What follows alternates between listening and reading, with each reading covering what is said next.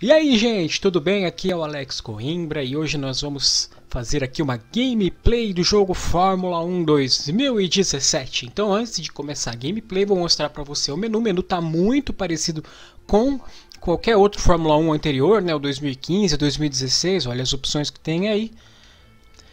Tem essa opção interessante que é evento eu não sei como é que vai ser isso aqui ao longo da temporada, mas agora que acabou de passar a corrida de Spa-Francorchamps, né?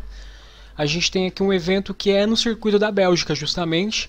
E ele tem um cenário, ele já começa no meio da corrida, no final da corrida, você tem que fazer algum, algum cumprir alguns objetivos, depois fica um ranking aí global com os resultados, né? Foi o primeiro evento que eu fiz, foi um resultado bem ruim que eu obtive ali, mas tudo bem. Sempre que eu clico nesse evento, ele carrega uma informação da internet, então eu acredito que vai ser um, um modo de jogo bem interessante aí, que vai ser bem é, inclusivo, né? vai ser bem globalizado, vamos dizer assim. Mas eu vou clicar aqui em Grande Prêmio, olha, Grande Prêmio. Quando eu clico em Grande Prêmio, nesse ano eu tenho a opção de carros modernos e carros clássicos, obviamente eu vou jogar com um carro clássico.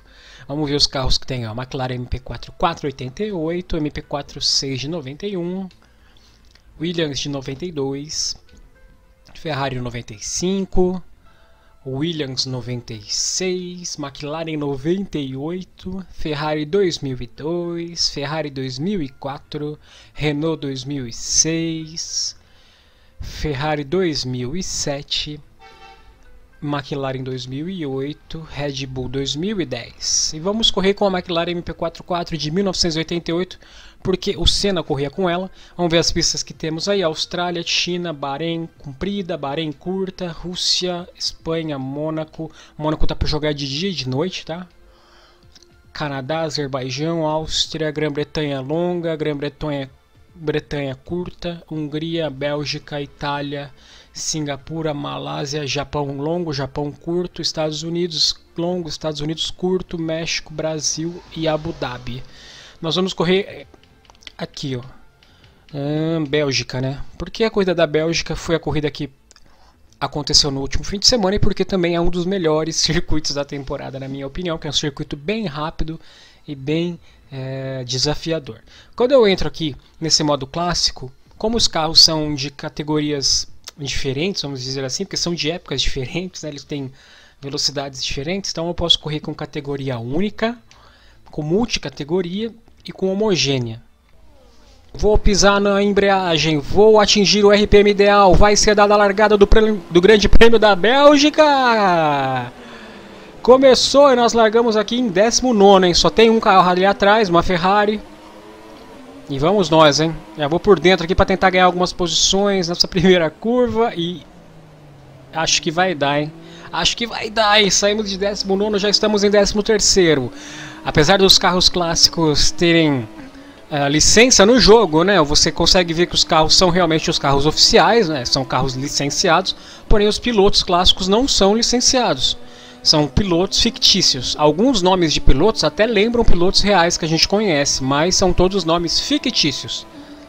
Nós saímos em vigésimo, em 19, nós já estamos aí em 13 terceiro no geral, porém, como nós estamos correndo com um carro um pouco mais antigo, a nossa classificatória ali é diferente. Então nós estamos em terceiro lugar, na verdade, entre os carros clássicos é, mais antigos, né? Entre os carros clássicos mais novos, eu estou em 13 terceiro, né? Se for, aliás, se for considerar os carros clássicos mais novos. Porém, não ficaria justo, né? Não ficaria justo porque os carros mais novos correm muito mais a exemplo daqueles dois carros logo ali na frente, que são duas McLarens de 1998, enquanto que eu estou correndo com a McLaren de 1988, 10 anos antes, né? Então, entre os carros mais antigos, que são os carros de 98 para trás, eu estou em terceiro lugar. Porém, considerando todos os carros que vão de 1988 até 2010, nós estamos em 13 terceiro lugar. Acho que ficou claro aí o que eu quis dizer, né? E vamos lá, vamos completando aqui a primeira volta no Grande Prêmio da Bélgica, no circuito de Spa-Francorchamps, enquanto isso vamos ver outras câmeras. Olha, tem esse tipo de câmera aí, o pessoal gosta bastante, é uma câmera que mostra o carro mais ou menos do ângulo ali, que a TV mostra o carro, né? Como se tivesse uma microcâmera ali em cima do ombro, mais ou menos em cima do capacete do, do piloto.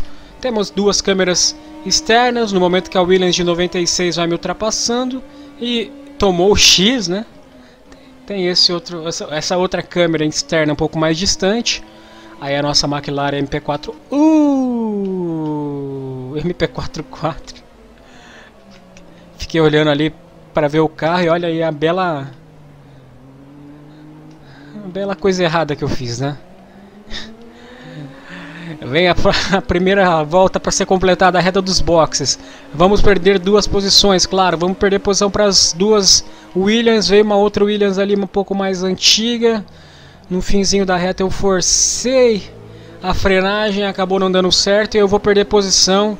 E vem a Ferrari também. A Ferrari foi embora, perdi quatro posições ali no, no final da reta dos boxes. Eu estava correndo com uma câmera que eu não gosto. Aí você está vendo mais algumas outras câmeras. Essa câmera interna também é bem legal de jogar, né? Porque a câmera, é, com o ponto de vista do piloto, aí você joga como se você tivesse realmente sentado no carro com o capacete. Você vê ali uh, os, as gotas da chuva no visor, né? Mas fica um pouco mais difícil, eu gosto de correr nessa. Vamos tentar mandar ver para ver se a gente recupera alguma posição que a gente perdeu várias posições ali na reta dos boxes. Esse é o Fórmula 1 2017, jogo lançado recentemente pela Codemasters. E nós temos a análise completa desse jogo aqui nesse canal, análise em 4K. Se você quer ver como esse jogo vai rolar no Xbox One X, no PlayStation 4 Pro ou no PC em 4K, olha, você pode assistir a nossa análise aqui que já está disponível desde ontem, viu? Análise completa do Fórmula 1 2017 em 4K. Esse, esse vídeo aqui não tá em 4K, viu? Esse vídeo aqui tá em 720p, só pra avisar. Porque, infelizmente, não tem condição de ficar fazendo vídeo em 4K, né? Dá muito trabalho computador aqui. Meu processador é de 2013, nem sabia o que era 4K naquela época. Quando eu trocar o processador, aí sim dá pra fazer mais vídeos em 4K. Por enquanto, os vídeos em, em HD, em Full HD também, de vez em quando, né? Que já está bem legal, porque a maioria das pessoas acaba assistindo o vídeo pelo celular mesmo, então nem faz muita diferença. Vamos aí completando algumas curvas aí, as últimas curvas, né? Na segunda volta do Grande Prêmio da Bélgica, nós estamos em sétimo lugar dentre os carros da nossa categoria, em 17 no geral. Dentro do Fórmula 1 2017, você pode regular a dificuldade para o seu nível, para você adequar ao seu estilo de pilotagem, para que não fique um jogo extremamente desleal e você perca o interesse em jogar, mas para que também não fique um jogo muito fácil e fique aquela coisa sem graça, né? Então, como eu gosto muito de jogo de corrida, eu coloco sempre ali o nível de dificuldade dos pilotos controlado pela inteligência artificial no nível difícil, né? Porém, eu ligo, por exemplo, essas uh, sugestões de frenagem aí na pista, que são essas flechinhas verdes, amarelas e vermelhas que aparecem na pista nas curvas. Porque se eu não ligar essas, essas assistências aí, né, essas, esses auxílios de frenagem, vamos dizer assim, eu precisaria conhecer o ponto de frenagem de todas as curvas, de todas as pistas do calendário da Fórmula 1. E ia ficar muito difícil, né? Realmente seria o ideal, mas eu não, não sou tão bom assim, né? Bom, nós estamos na última volta da corrida. São três voltas no total. Agradecer você que está aqui assistindo comigo. Já vou pedir para você não esquecer de deixar seu like. Deixa o like aí para me deixar bem feliz. Se inscreve no canal que aqui tem os vídeos toda segunda, quarta e sexta vídeos sempre falando sobre tecnologia, onde eu trago análises de games, análises de produtos, informações e dicas sobre tecnologia. Temos também aqui vídeos sobre cultura, onde eu trago vídeos de música, vídeos que eu produzo músicas no meu home studio, também vídeos falando sobre eventos culturais e também vídeos sobre marketing, falando sobre mercados e oportunidades, falando sobre dinheiro, falando também sobre persuasão e a corrida já acabou para quem chegou em primeiro, hein? Já chegou, já finalizou ali a corrida quem está com o carro mais rápido, né? A gente ainda está na metade da última volta. E vamos lá, vamos lá.